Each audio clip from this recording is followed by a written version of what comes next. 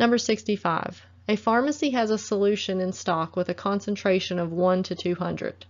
How many milliliters will be needed to make 150 milliliters of solution that is 1 to 1000? A. 10 milliliters, B. 20 milliliters, C. 30 milliliters, or D. 40 milliliters.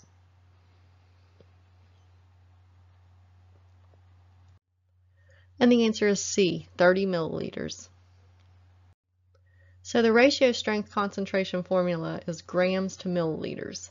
So we need a solution that's 1 gram to 1,000 milliliters will be our concentration.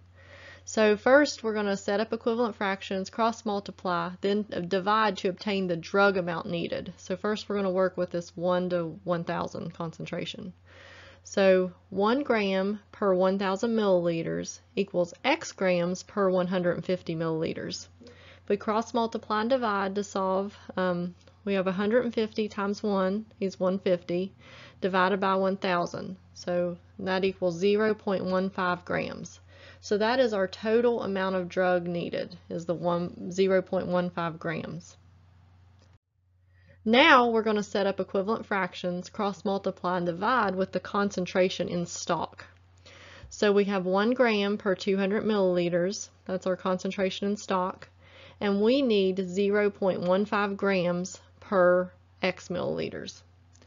So we have 200 times 0.15, that equals 30, then divided by 1 equals 30 milliliters. So the total amount of 1 to 200 solution needed to make 150 milliliters of the 1 to 1000 solution is 30 milliliters. That will give us the amount of drug we need in it, and then water will be added to get the remaining 120 milliliters so that we would have a total of 150 milliliters of this solution. Thanks for watching. For more practice test questions, click below to see my full-length PTCB Pharmacy Technician Certification Exam practice test that includes 90 questions with explained answers.